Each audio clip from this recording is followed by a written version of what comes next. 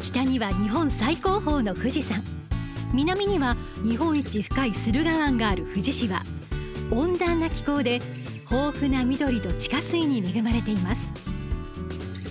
今日はそんな富士市で新たにできた憩いの場を紹介します。静尾市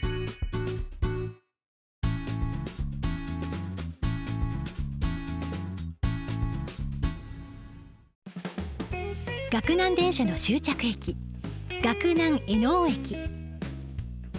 こちらに米麹甘酒専門店をオープンいたしました。地元でお米やお茶などを作る山高農場が運営する心道麹店。無人駅となり数十年間使われていなかった旧駅務室を改装し先月オープンしました。米麹で作られた甘酒や麹ジェラートなどを買うことができますが商品はすべて山高農場の食材を使用しています。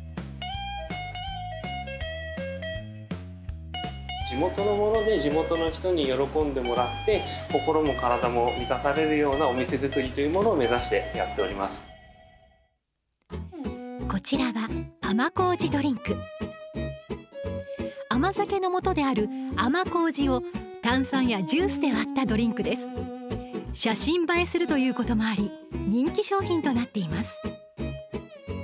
麹のトマトジュースドリンクです。トマトジュースなんですけれど麹の甘さがちょっと引き立ってて酸味が抜けてて美味しいですね。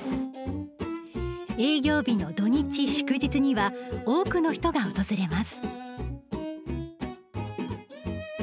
活用されてなかった駅舎をまあ有効活用するのは課題でありまして当社の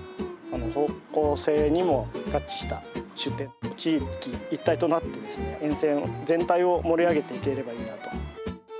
地元の人の憩いの場になって少しでも皆さんが楽しんでもらえるような場の提供というものをできたらいいなと考えております。駅舎の活用と地元の商品で富士市を盛り上げます